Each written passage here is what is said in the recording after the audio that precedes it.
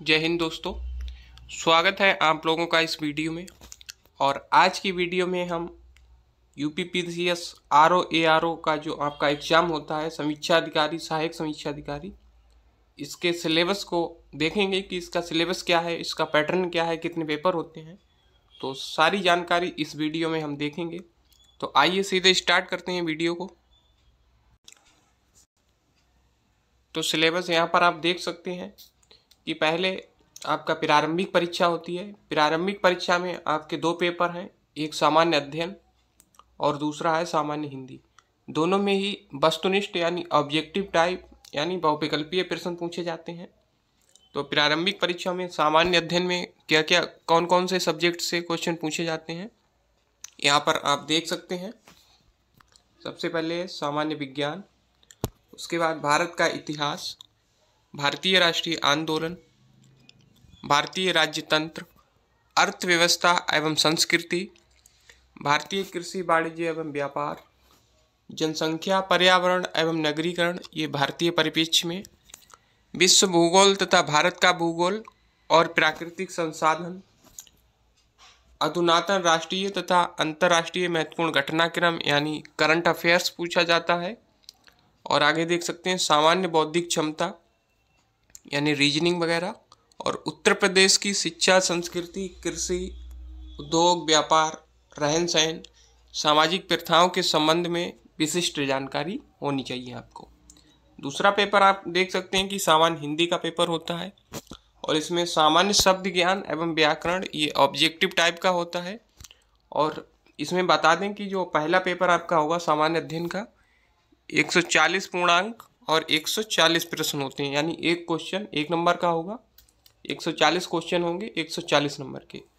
दूसरा क्वेश्चन दूसरा पेपर है आपका हिंदी का, इसमें 60 प्रश्न होंगे और पूर्णांक भी इसका 60 है। तो आगे देख सकते हैं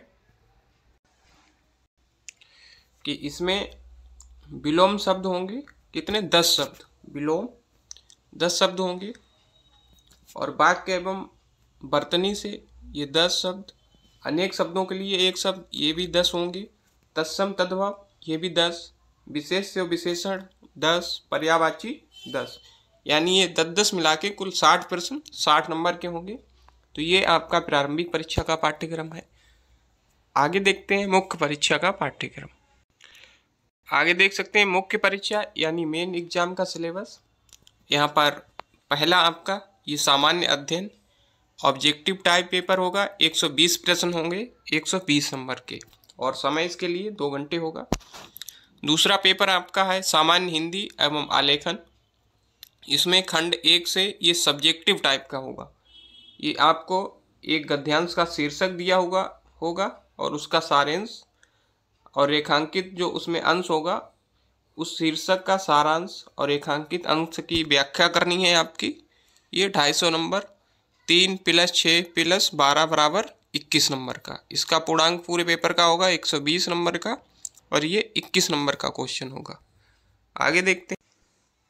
आगे अगला क्वेश्चन दो आपके सामने है कि किसी दिए हुए सरकारी पत्र का सारणी रूप में सार लेखन। आपको एक पत्र दिया हुआ होगा सरकारी पत्र, उसका सार लेखन आपको देना है, ये पंद्रह अंक का है।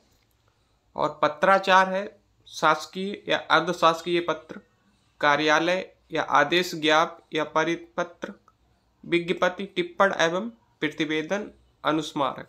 तो इस पर आपको लिखना होगा एक लेटर। चौबीस नंबर का है। देख सकते हैं। नेक्स्ट है कि परिभाषित शब्दावली, प्रशासनिक एवं वाणिज्यिक शब्दावली होगी। आपको अंग्रेज़ी से हिंदी में ट्रांसलेट करनी है। ये दस नंबर के पाँच शब्द होंगे। और हिंदी से अंग्रेज़ी ये भी पाँच शब्द दस नंबर के होंगे। और मुहावरे लोकोक्तियाँ होंगी केवल पाँच, ये दस नंबर की होंगी। और कंप्यूटर का भी नॉलेज आपको होना चाहिए। तो ये एक खंड में, खंड एक में पूछे जाएँगे और खंड दो यहाँ पर देख सकते हैं। ये भी आपका सब्जेक्टिव टाइप का होगा। सामान्य शब्द, ज्ञान एवं व्याकरण। और इसमें देख सकते हैं कि विलोम शब्द, ये छः शब्द बारह अंकों के, ये पूर्णांक इसका कितना होगा? साठ, पूरे खंड का साठ होगा। वाक्य एवं बर्तनी शुद्धि छः वाक्य बारह अंक ये सभी छः छः शब्द और बारह बारह अंकों के देख सकते हैं। तो ये साठ होंगे भाई, तत्सम तद्व विशेषण विशेष भाई सब होंगे। तो इनको आप अच्छे से तैयार कर लीजिए। और लास्ट में आप देख सकते हैं कि हिंदी निबंध का पेपर होगा, तीन घंटे का समय होगा आपका 120 नंबर का ये होगा। इस प्रश्न पत्र के अंतर्गत कितने? तीन प्रश्न होंगे। प्रत्येक प्रश्न के एक एक शीर्षक काखा गा का चयन करते हुए दी गई शब्द सीमा में कुल तीन निबंध लिखने होंगे आपको। पहला, साहित्य और संस्कृति, शब्द सीमा 600 सामाजिक क्षेत्र और राजनीतिक क्षेत्र, इन क्षेत्रों से आपको 600 शब्दों का निबंध लिखना है 40 नंबर का। इसी प्रकार 40 40 नंबर के तीन निबंध, यानी चाहती हैं बारह, एक नंबर के आपको निबंध लिखना है। दूसरा देख सकते हैं कि विज्ञान, पर्यावरण, प्रौद्योगिकी, आर्थिक क्षेत्र, कृषि, व्यापार, राष्ट्रीय एवं अंतर्राष्ट्रीय घटनाक्रम, प्राकृतिक आपदाएँ, भूस्खलन, चक्रवात, भूकंप, बाढ़, सूखा इत्यादि और राष्ट्रीय विकास योजनाएँ। यानी जो जनरल स्टडी जो सामान्य अध्ययन के जो विषय हैं, उन्हीं से आपसे निबंध पूछा जाएगा। तो ये सिलेबस आप लोगों ने देख लिया कि प्रीलिम्स में कितने? दो पेपर होते हैं और मुख्य परीक्षा में तीन। आप देख सकते हैं, आपके सामने है, सिलेबस आपने समझ लिया और इसकी पीडीएफ आपको टेलीग्राम पे मिल जाएगी। और किसी भी डाउट के लिए आप कमेंट करके हमें बता सकते हैं।